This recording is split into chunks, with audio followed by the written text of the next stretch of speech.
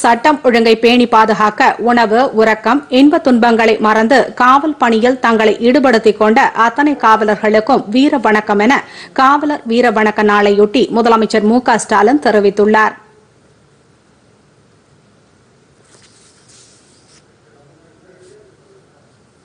காவலர் வீரவணக்க நாளையொட்டி சென்னையில் உள்ள காவலர் நினைவு சின்னத்தில் தமிழக காவல்துறை டிஜிபி சைலேந்திரபாபு மற்றும் உயர் அதிகாரிகள் அஞ்சலி செலுத்தினர். அப்போது மறைந்த காவலர்களுக்கு மரியாதை செலுத்தும் விதமாக நூற்றி முப்பத்தி குண்டுகள் முழங்க மரியாதை செலுத்தப்பட்டது.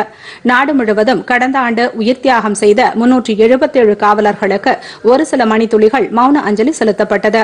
நிகழ்ச்சியில் பேசிய டிஜிபி சைலேந்திரபாபு மக்கள் அமைதியாக சுதந்திரமாக வாழ காவல்துறை அதிகாரிகள் தங்கள் இன்னுயிரை தியாகம் செய்துள்ளதாக தெரிவித்தார் important task.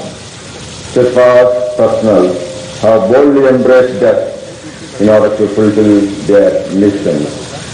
Many others face deadly dangers almost daily while going about their arduous duties. This is the price, danger and death. We, the police constabulary and officers have to face So that society can live in peace.